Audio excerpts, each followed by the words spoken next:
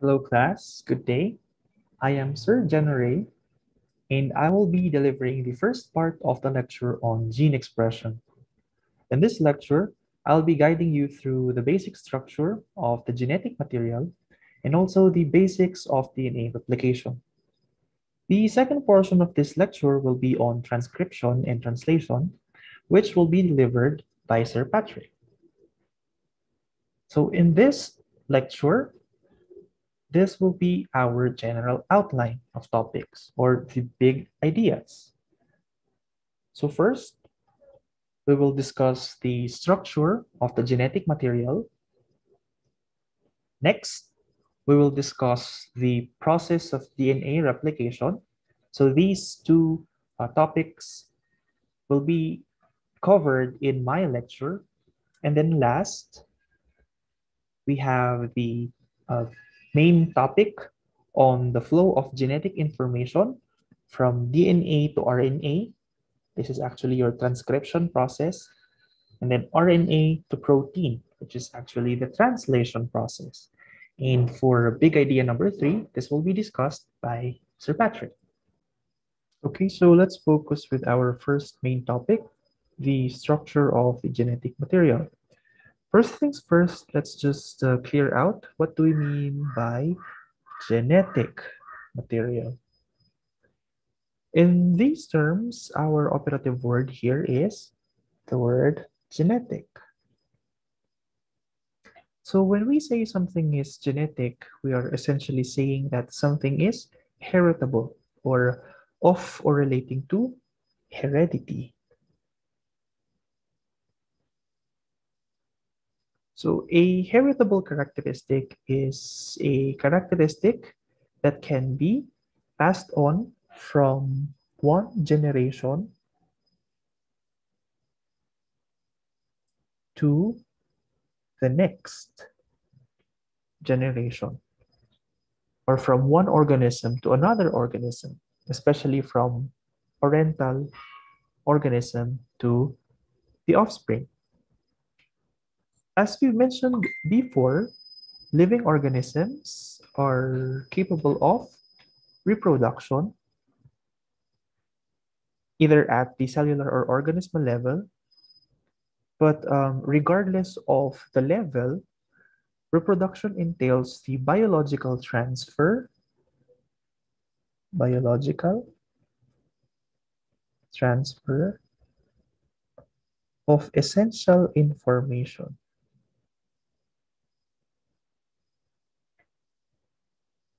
From one generation to the next. So let's just qualify this information further. So this information includes biological instruction,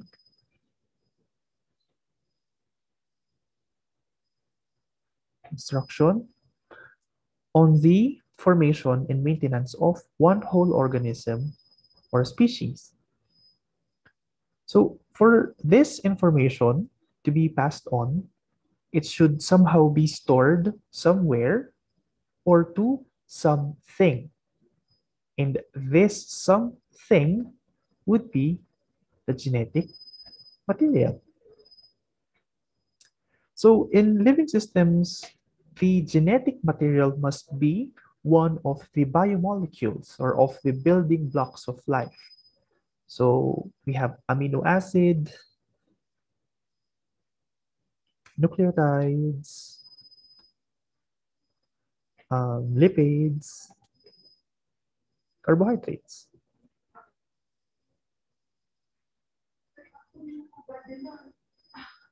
But as to what specific molecule constitutes the genetic material was a mystery back then until there are a series of experiments conducted by several scientists that progressively worked on a quote and unquote transforming molecule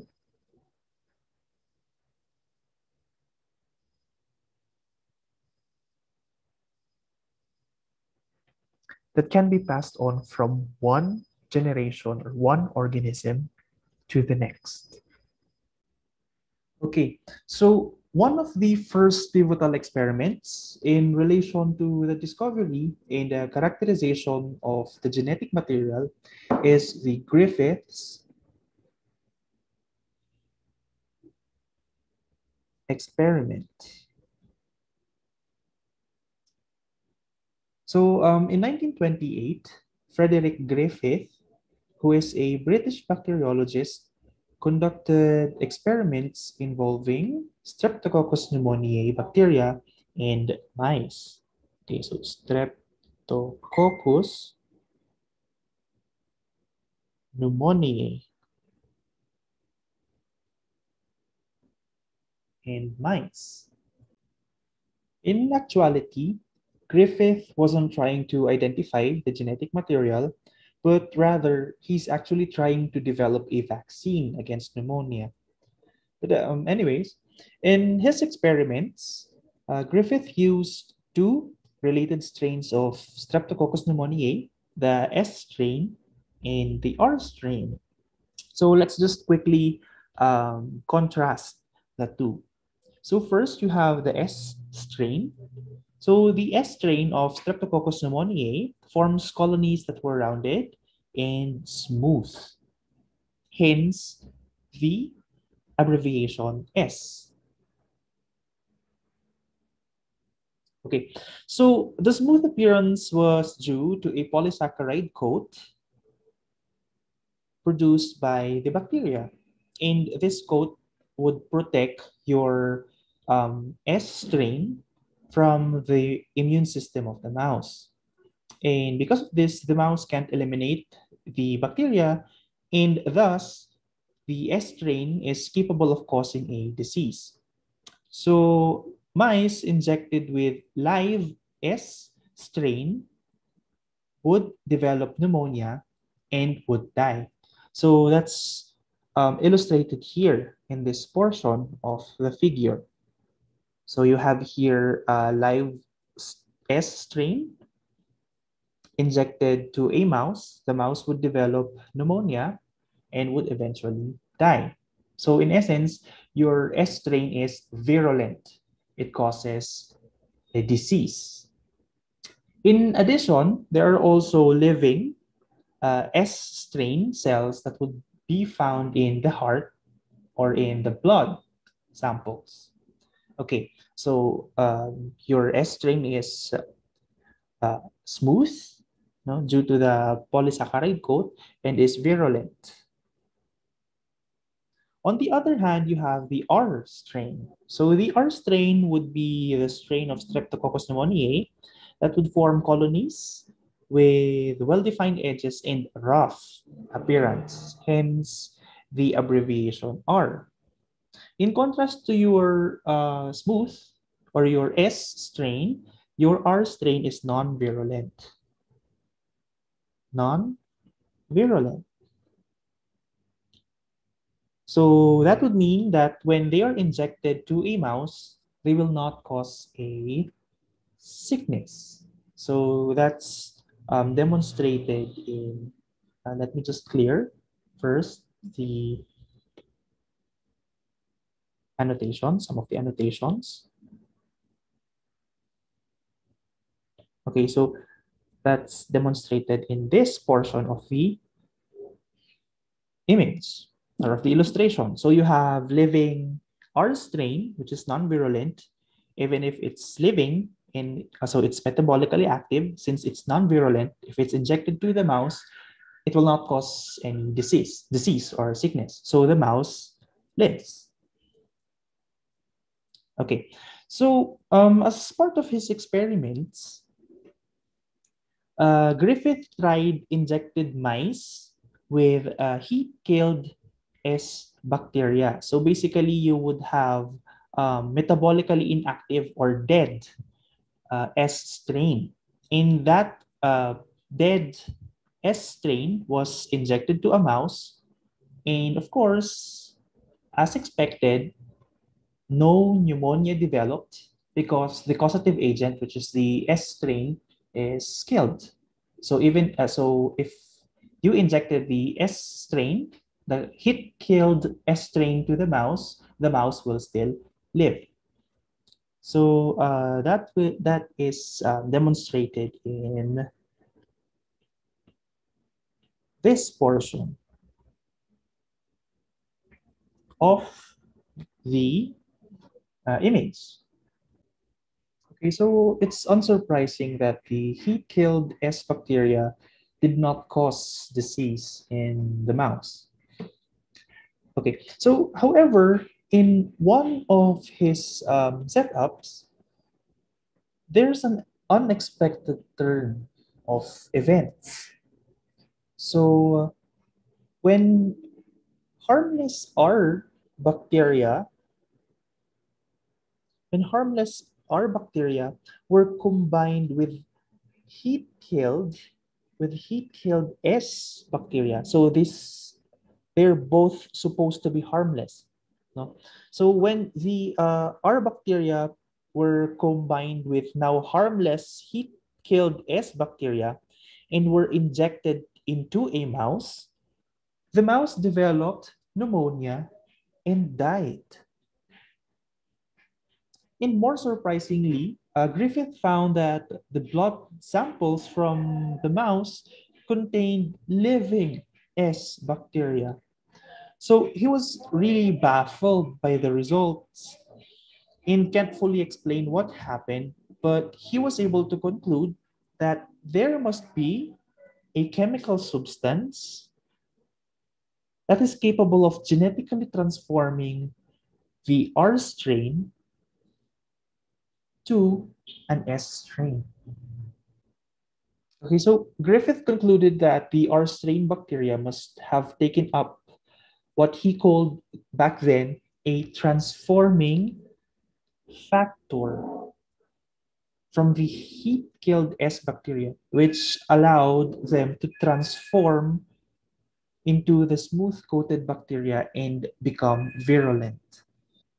Okay, so Griffith demonstrated that a transforming factor can be passed on from one cell to another.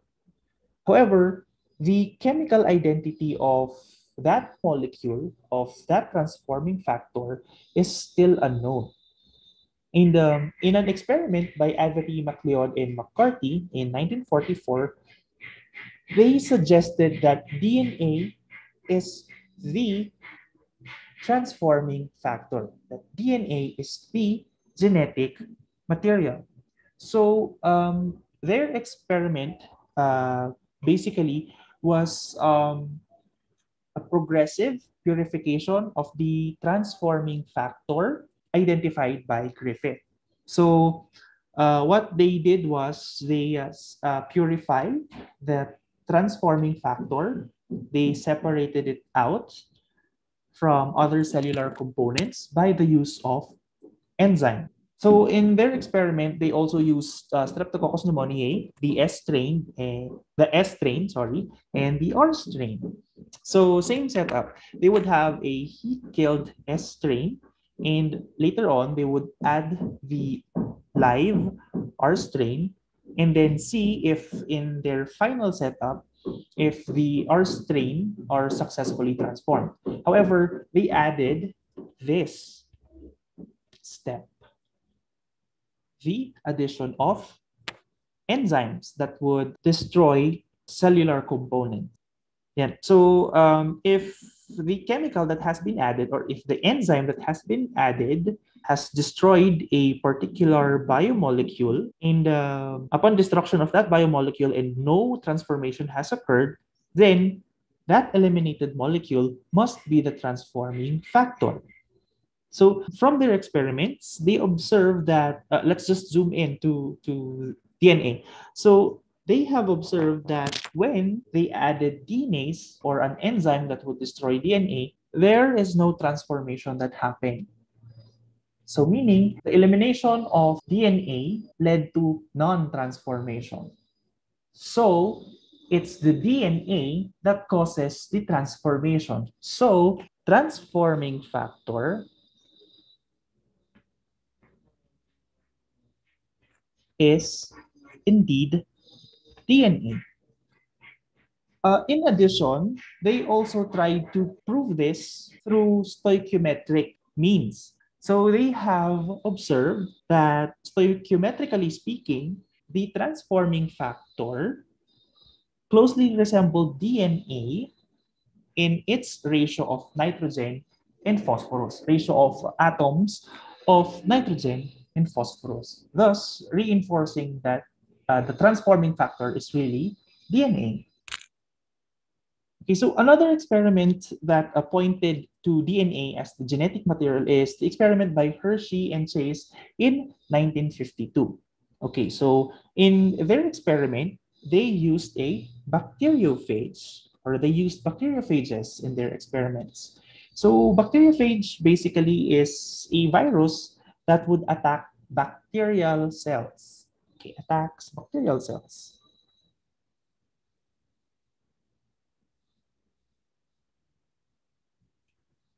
So uh, these phages would attach to the surface of a host bacterial cell and would inject some substance in, into the host. Uh, that substance is either DNA or protein, either DNA or protein only. So this uh, injected substance would give instructions to the host bacterium to start making lots and lots of phages. So in other words, whatever it was that the phage is injecting into the bacterial cell was the phage's genetic material. So to establish whether the phage injected DNA or protein into the host bacteria, Hershey and Chase prepared two different batches of phage as you can of phages as you can see in this illustration. So they have two batches. In each batch, the phage were produced in the presence of a specific radioactive element, which will then be incorporated into the macromolecules that uh, made up the phage. So in setup number one here, in setup number one, they uh, have cultured the phage with uh, P32, P32. So um, P32 is a radioactive isotope of phosphorus and this uh, attaches to the DNA component, to DNA only.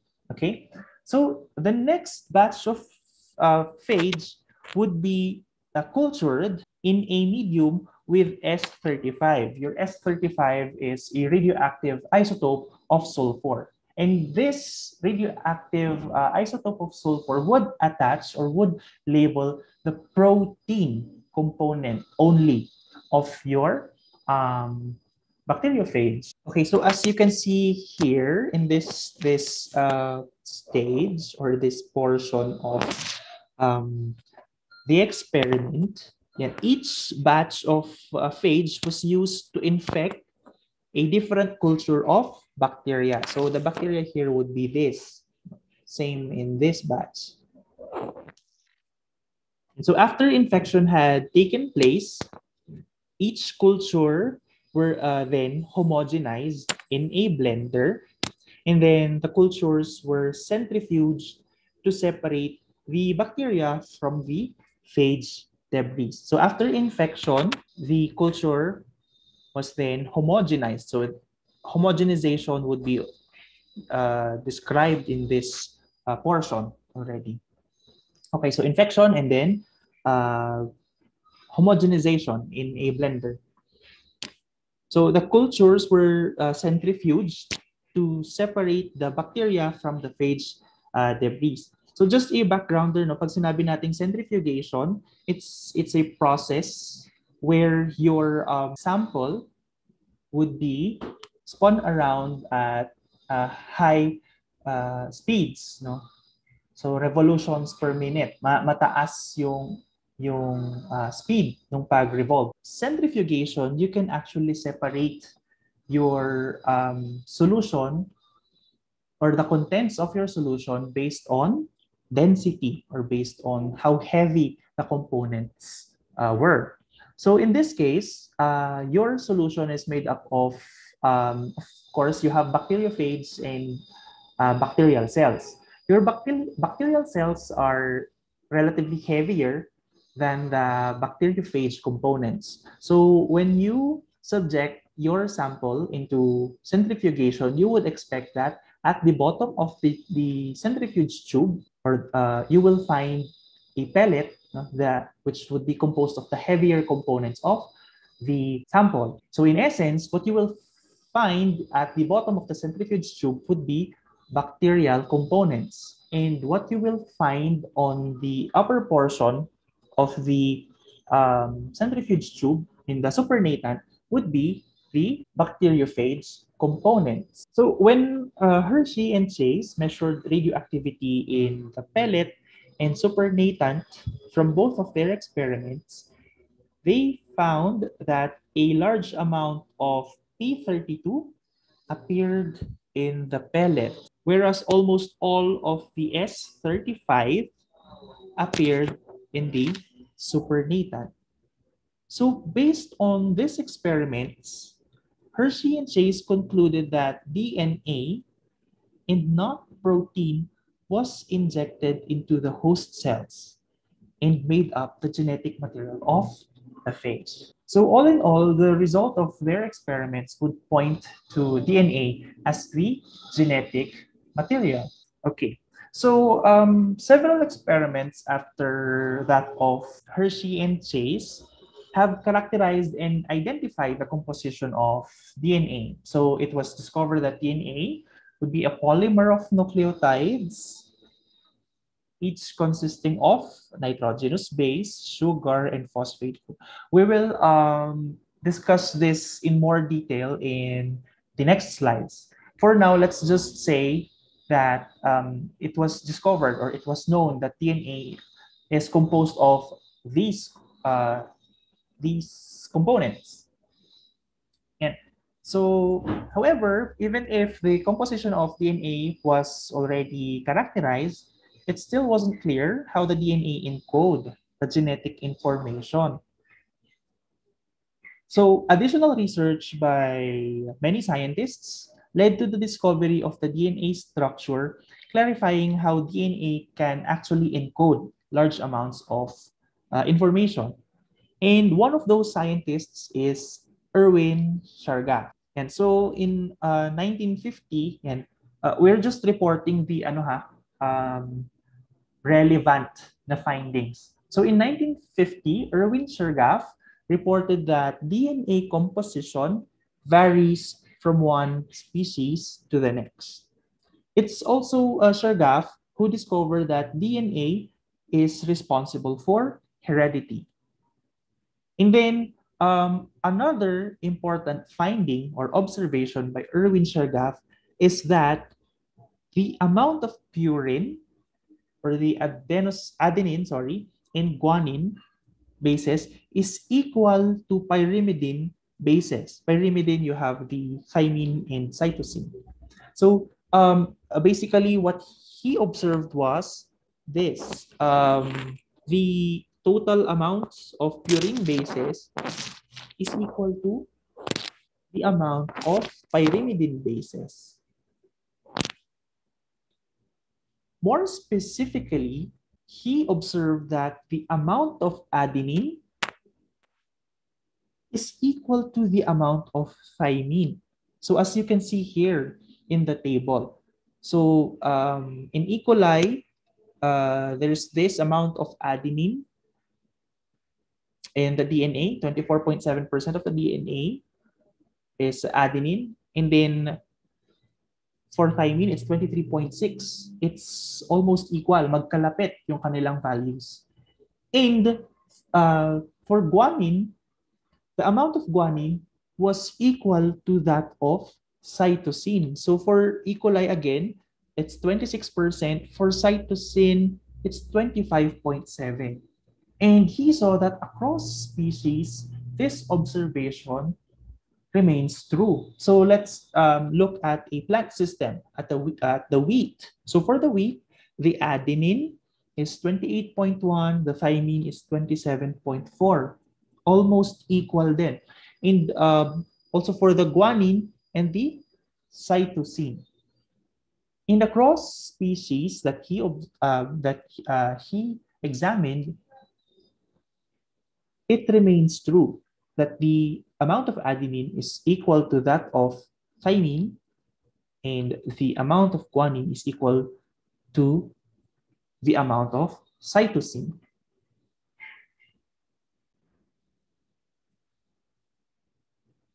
Okay, so uh, two of these findings uh, became known as Chargaff's rules. So one, the base composition of DNA varies between species.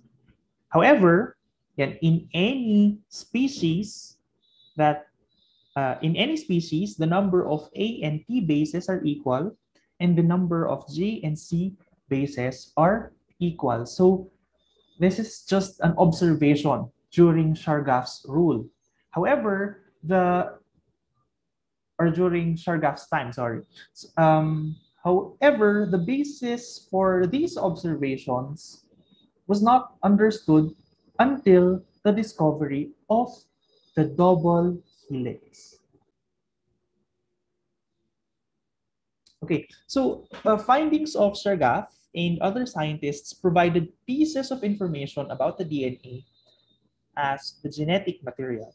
And these observations all made sense and were all unified by the findings of Watson and Crick. So all of these findings by um, uh, scientists led to the deduction of the secondary structure of the DNA. So it's not just um, the work, purely the work of Watson and Crick that led to the discovery of the double helical structure of the DNA. It was actually with the help of the findings of uh, other scientists.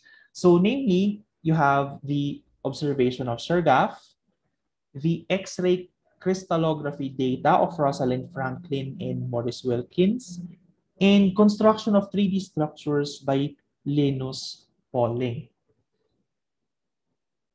Okay, so we just want to emphasize emphasize that even though uh, it's uh, Watson and Crick who um, had the credit you know, of of the of discovering the double helical nature of the DNA molecule, it's actually it's actually a product of um, findings results of experiments of several scientists. It's just that Watson and Crick uh, unified all of these findings and deduced that the secondary structure of the DNA was a double helical structure.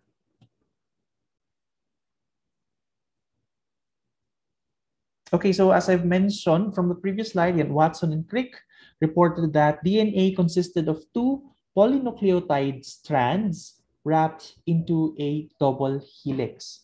So in addition to, to the, uh, the main finding that DNA is a double helical structure, they also reported these findings.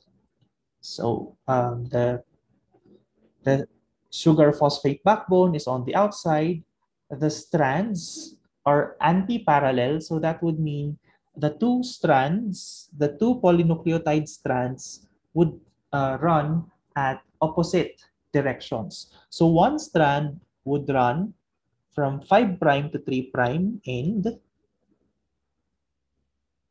And then the other strand would be from 3 prime to 5 prime end.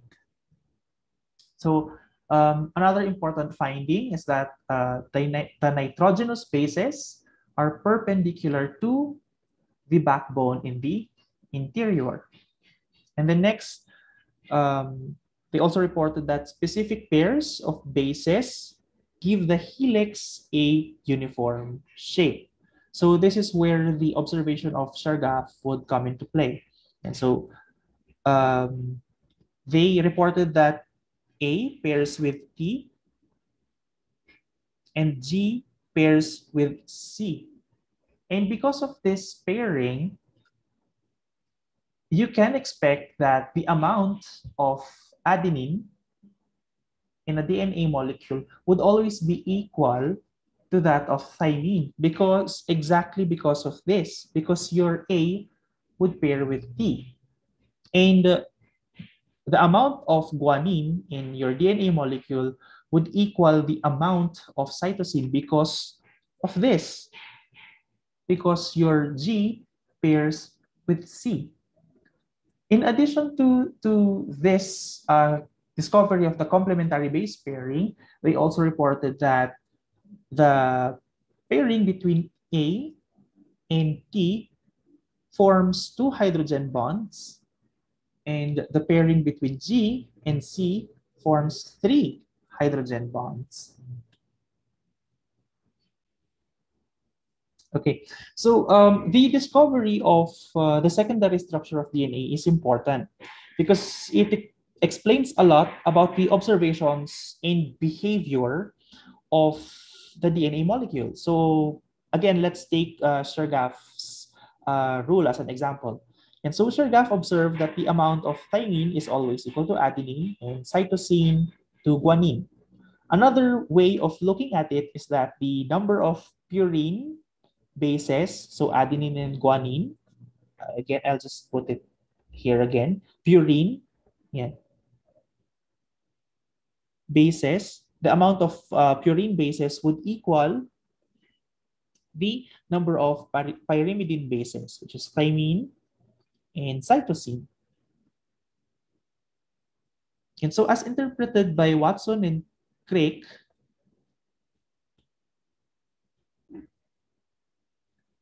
uh, this also fits the description of the DNA structurally speaking. So remember that they uh, also reported that the DNA is uniformly helical. And that is only achieved if the base pairing occurs between purine and pyrimidine. So as you can see here in this uh, figure, if the uh, pairing is between purine and purine, it would be too wide.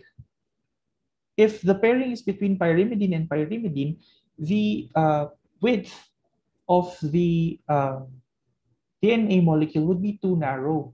However, as they have observe, observed, your DNA molecule is uniform, uniformly helical, and uh, that is only achieved if the pairing is always between purine and pyrimidine, which is supported by Chargaff's rule. Okay, so just to help us imagine the helical structure of the DNA, let's uh, look at this figure. So this uh, rope ladder model of the double helix. So the margin of the rope ladder would be your sugar phosphate backbone and the rungs of the ladder would be the paired nitrogenous bases. And if you try to twist a rope ladder, it would assume a helic, double helical structure. Okay, so in this slide, we're just uh, showing you uh, different representations of the DNA. Basically, all of this uh, would reflect the double helical structure or double helical nature of the DNA molecule. So we have the ribbon model showing you the, this would be the sugar phosphate backbone, this would be the nitrogenous bases that pair up. We also have a partial chemical structure model so it would show you still this would be the sugar phosphate backbone. Okay, so this would be the phosphate group. This is your sugar uh, ribose, five carbon uh, sugar is a ribose. And then you have the nitrogenous bases that uh, pair up. So as we mentioned before, uh, your GC pairing would have three hydrogen bonds and your AT pairing would have two hydrogen bonds. We also have here a computer model of the DNA. Okay, so now let's focus on the components of the DNA and RNA. Let's include RNA also.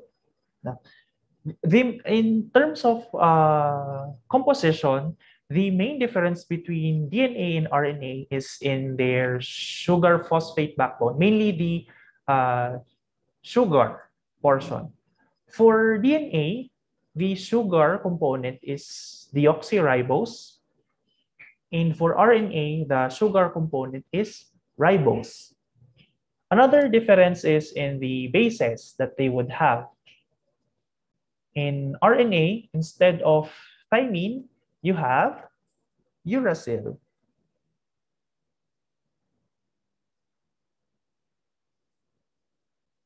Okay.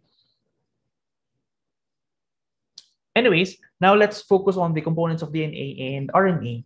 So your nucleic acids, no, mainly that the DNA and RNA, are actually polymers of nucleotides.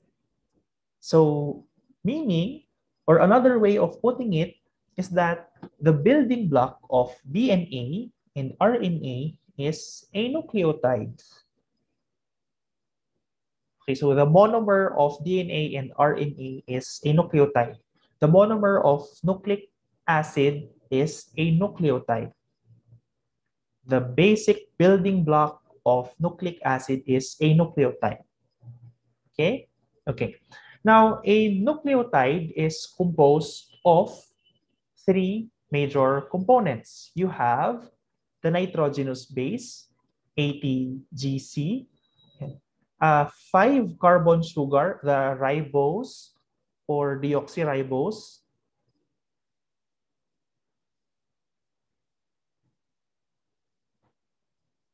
Okay, so I'll just put it in ATGC and a phosphate group.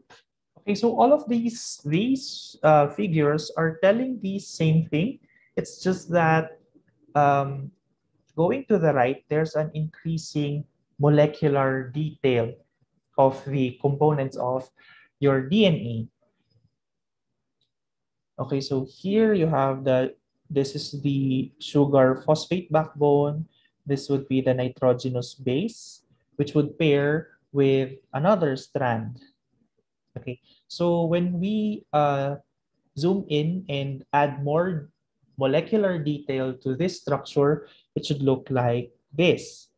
Okay, so you have your sugar phosphate backbone. This would be your phosphate. This would be your uh, 5 carbon sugar.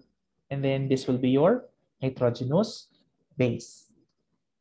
Okay, so zooming in further and adding more molecular detail. So in here, let's zoom in on this portion. It would look like this. Okay, so this will be the molecular structure, or the, sorry, uh, yeah, chemical, uh, molecular structure of thymine, of the sugar, and the phosphate. Okay, so in this stage, I just want to emphasize, just want to emphasize uh, this. In the sugar, uh, for the sugar component of your DNA, as we mentioned before, it's five carbon sugar. So you're expected to see five carbon molecules, five C's there. So you have here carbon 1, carbon 2, carbon 3, carbon 4, carbon 5. Okay? Okay. So when a DNA molecule or when DNA, uh, when DNA is synthesized, you can only add at this portion of the molecule, at the carbon 3 or at the 3 prime.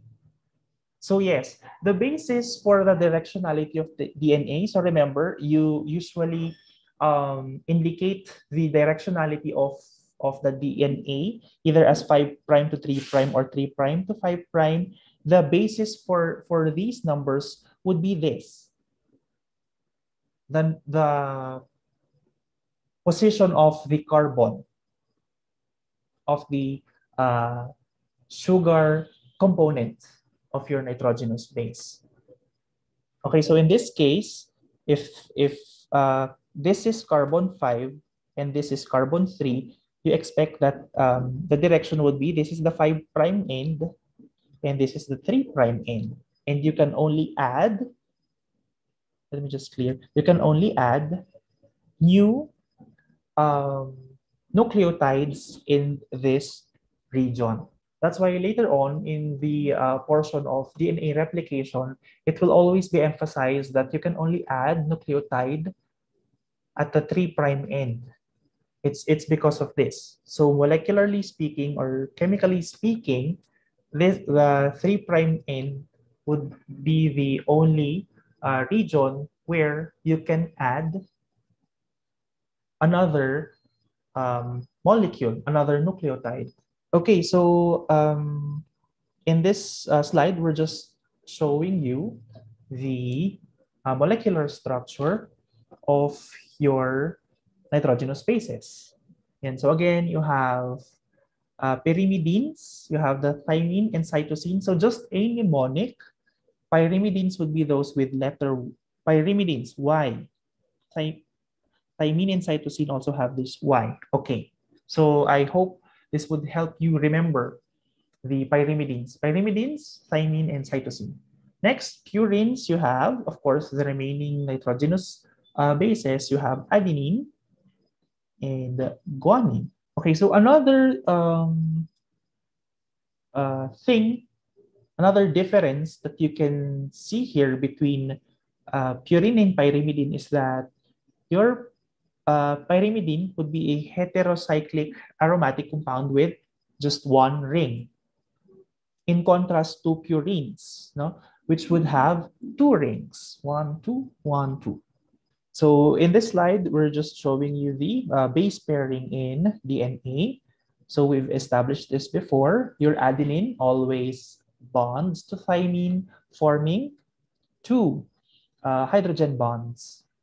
And then guanine always pairs up with cytosine, forming three hydrogen bonds. Okay, so in uh, in terms of base pairing, maybe a mnemonic that I can give you is that the curvy letters, uh, G and C, would uh, pair up, and then the pointy letters, A and T, would pair up. Okay, so uh, just a sidebar. Um, I just want to emphasize this no? So in 1962, the Nobel Prize was awarded to James Watson, Francis Crick, and Maurice Wilkins for the discovery of the uh, helical structure of the DNA. However, um, Watson and Crick wouldn't be able to deduce the secondary structure of the DNA if not for the uh, X-ray crystallography data or picture by Rosalind Franklin. So uh, it is said that Rosalind Franklin probably would have received the prize as well, but she died before the Nobel Prize was awarded. So Nobel Prizes are never awarded posthumously. And then um, next just a sidebar. So Watson and Crick, they're very um, prominent in the scientific community because of their discovery. However, there's this issue, especially with uh, James Wa- uh, Watson. Yeah, so a this is a clip from a news from the New York Times. Yeah, so a lab severs ties with James Watson, citing unsubstantiated and reckless remarks. This is in line with the statement of Dr. Uh, James Watson uh, that uh, basically he said that there's an IQ difference between blacks and whites uh, and that reflects underlying genetic differences shaped by natural selection. So basically what he's trying to say is that there's a genetic basis for the difference in the IQ levels of blacks and whites. However, that was unfounded and racially motivated. And that's an irresponsible thing to do, especially if you're someone prominent. No? Imagine the influence that you have in the scientific community and you would have this racially motivated, unsubstantiated, and reckless remarks towards a particular group of people saying they're inferior compared to your race. Okay, so now let's go to the next um, main topic of this lecture, the DNA replication. Okay, so now uh, we have a uh, grasp of the general structure of the genetic material, which is the DNA. Now, uh, as we've mentioned before, uh, in the genetic material, information is stored, and now we know that it's stored in a DNA and in the form of uh, nitrogenous base sequences. Now, um, it's not just simply stored, it's also replicated so that you have copies that can be uh, passed on to the next generation or to other cells or to another organism. And that's what we will discuss in this uh, section. Okay, so DNA replication depends on specific base pairing.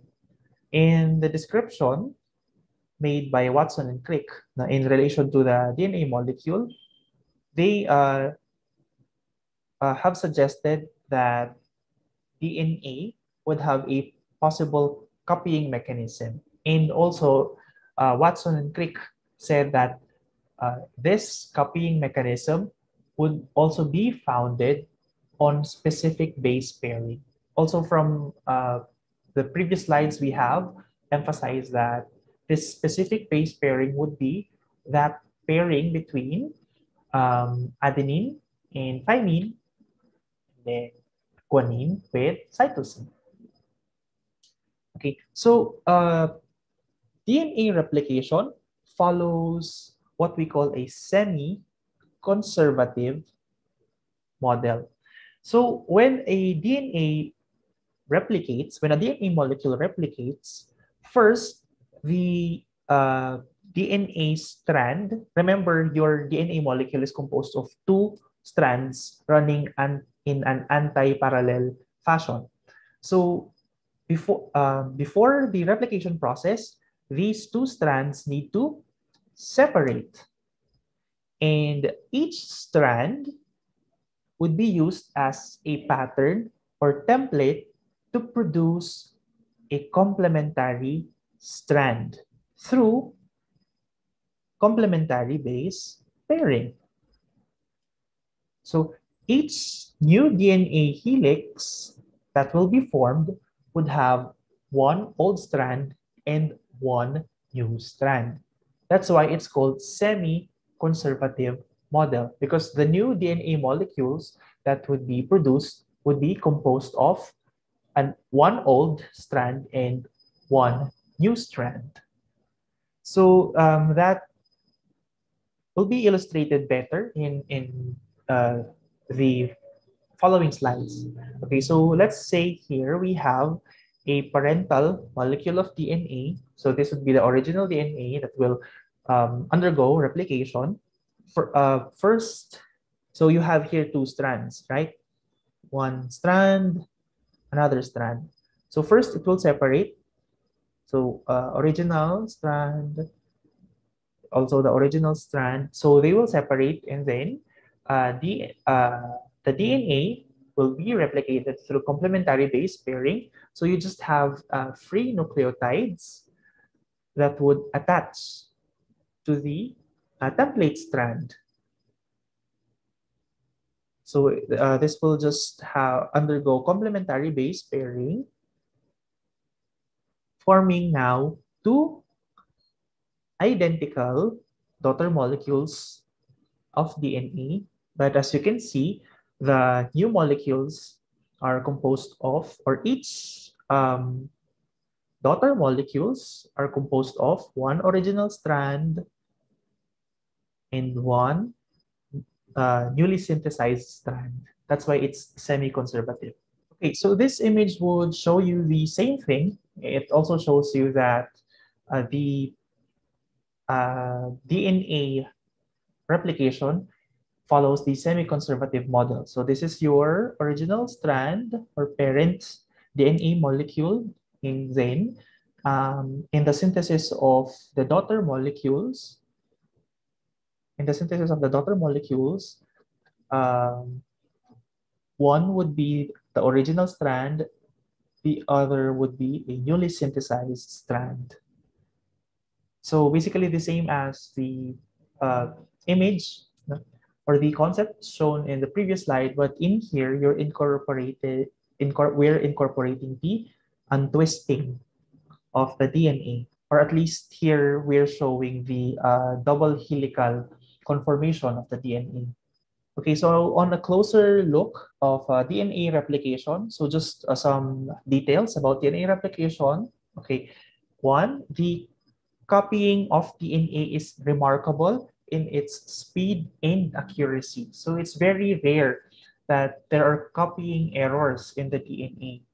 Given the number, the sheer number of base pairing that, that uh, would undergo in the DNA replication, the uh, copying error is really, really low.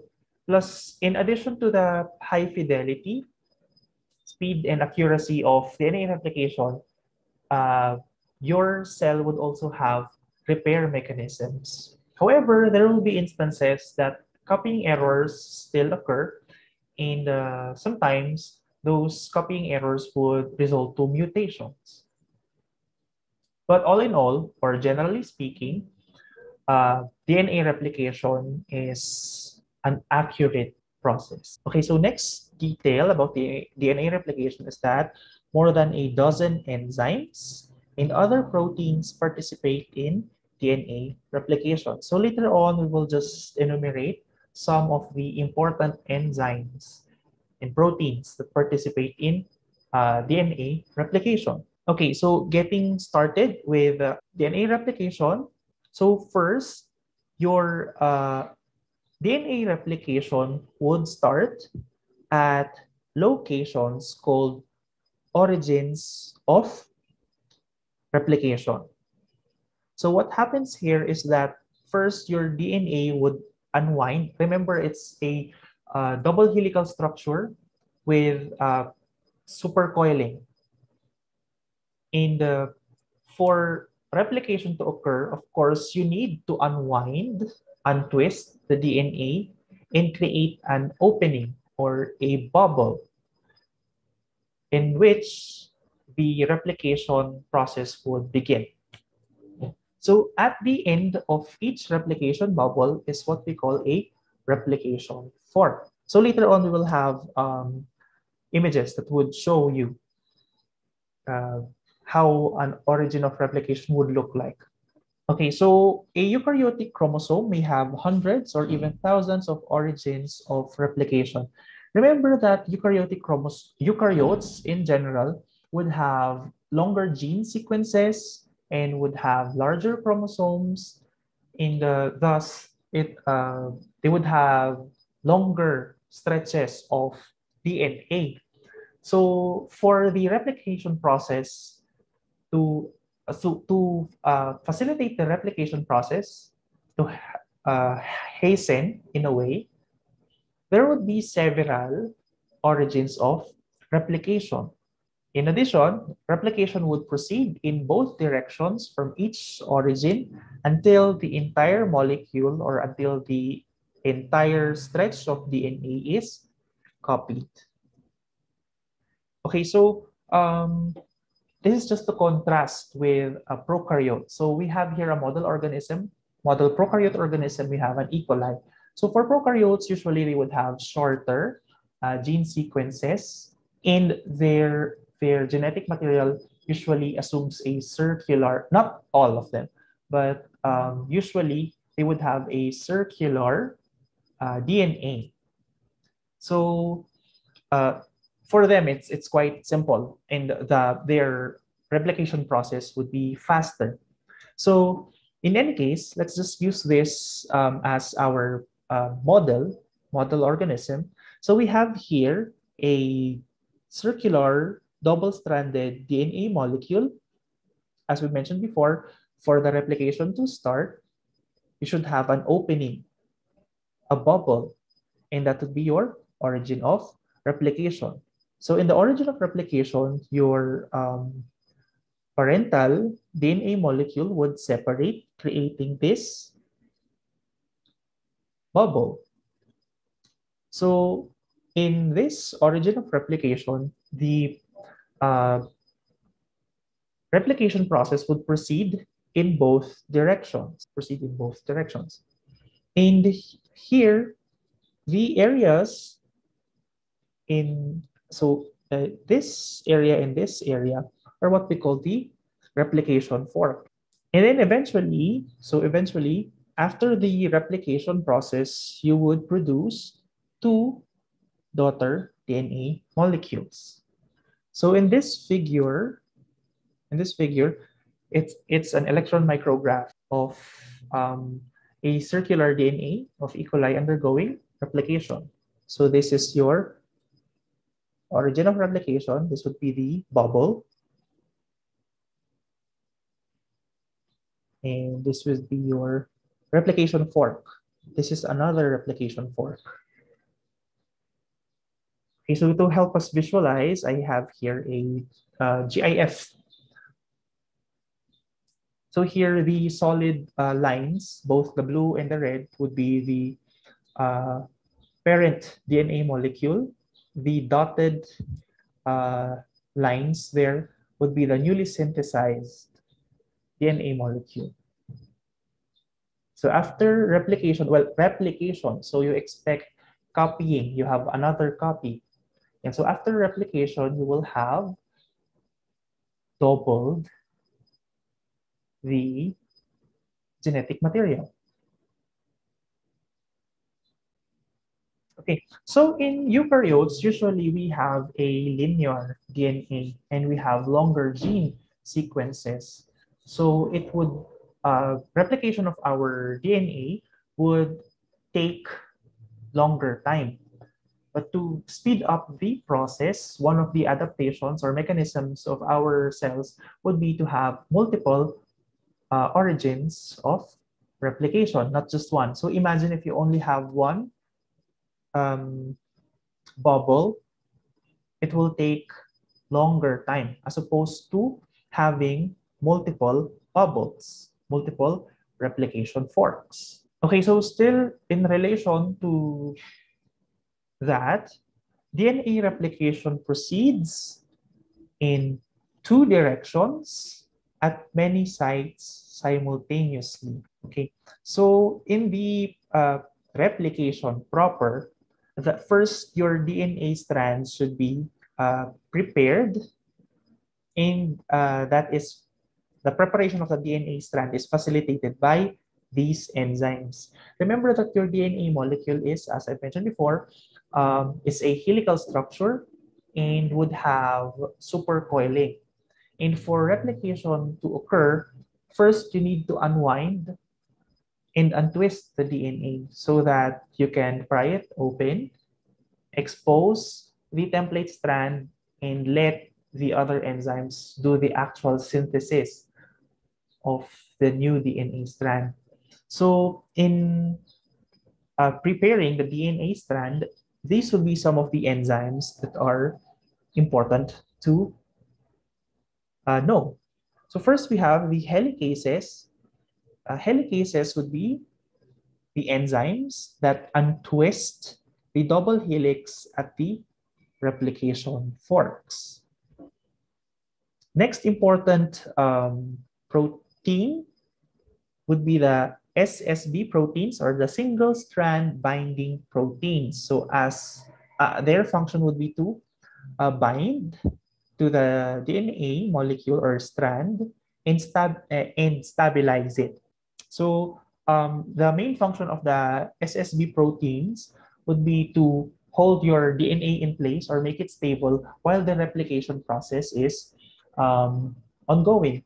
Because in the absence of SSB proteins, even if you have unzipped the DNA, it will it's it, it will naturally uh, bind again.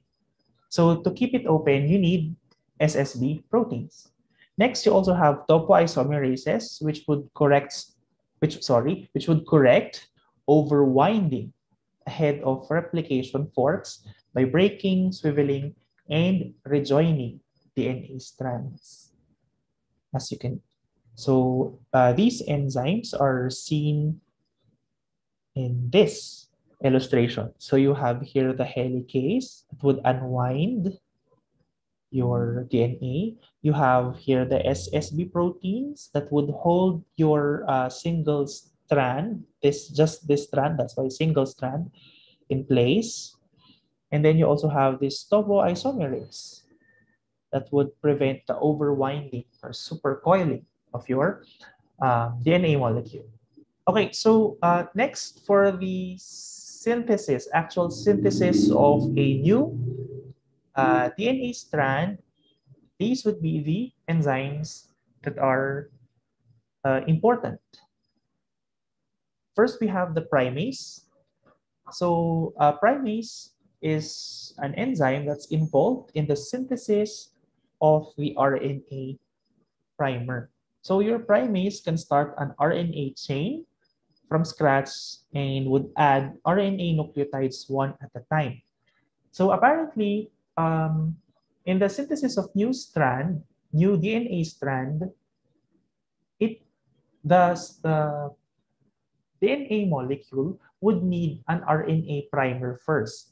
So meaning um, the actual uh, synthesis of DNA can't be done directly.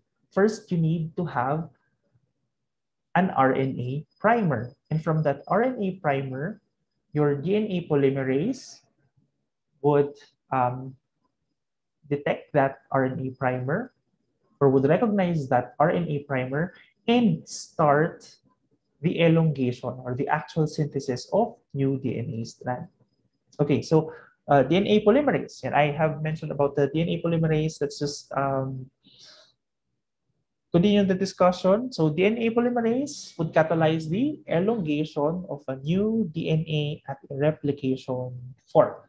As I've mentioned before in the first portion of the lecture, um, your DNA polymerase can only add nucleotides to the 3' end. And each nucleotide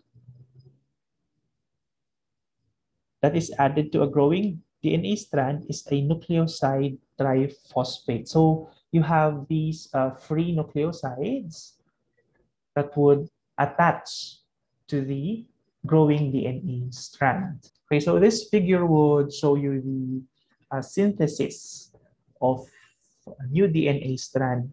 So this would be our template strand. This is the new strand being synthesized. So you have, this would be the growing chain. Okay, so in this portion, in this portion, this would be uh, an area where a new nucleoside would be added. So your nucleoside would be, your nucleoside would be composed of a sugar of three phosphate groups and one nitrogenous base. So this should uh, pair with this. So still we're operating uh, with the complementary base pairing. So T to A, G to C.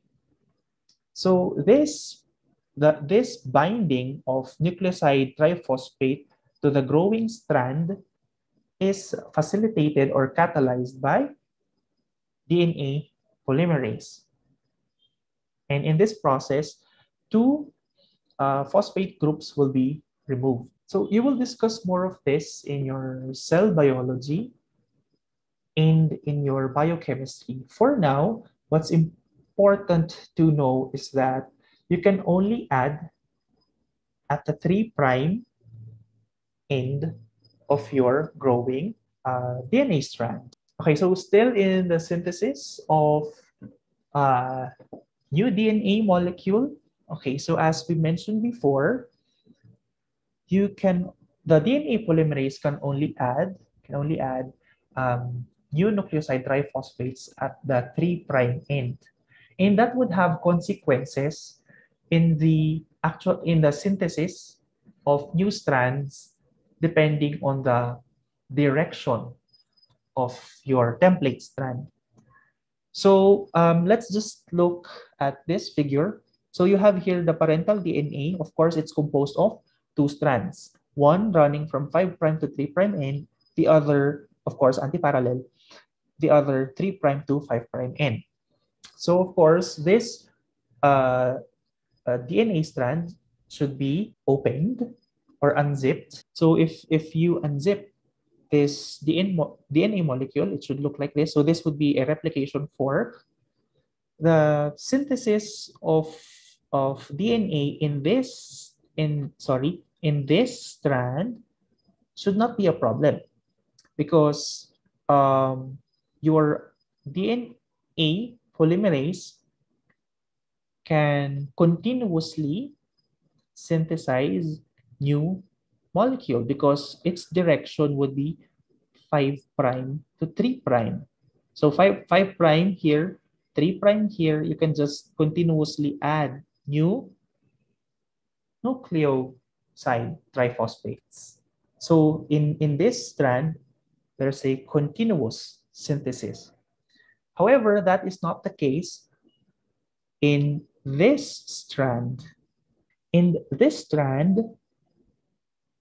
DNA synthesis is discontinuous. Because of the directionality of the template strand here, or of the parent strand here, the direction of synthesis can only be from this portion to that portion. So the consequence is that um, the synthesis would be discontinuous because um, it needs to wait for the helicase to unwind again a certain portion of the DNA before it can start another uh, synthesis or before it can elongate the uh, newly synthesized DNA molecule. In this uh, strand, it's not a problem because the direction of synthesis is the same as direction of the unwinding. Okay? So in this strand, as we've mentioned before, the synthesis is discontinuous, leading to the formation of uh, short sequences of DNA nucleotides, fragments of uh, DNA nucleotides.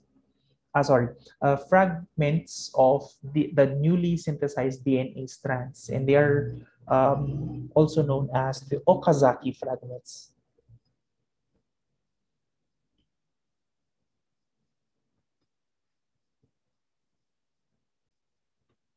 Okay, so with this, uh, this continuous uh, synthesis of the DNA molecule, it is expected that there will be gaps. There will be gaps in the DNA molecule. And of course, uh, that can't remain that way. So your uh, cell would have its, its mechanism, would have another enzyme that would solve that problem. And that is your DNA ligase. So your ligase is involved in repairing irregularities or breaks in the backbone of the double-stranded DNA molecules.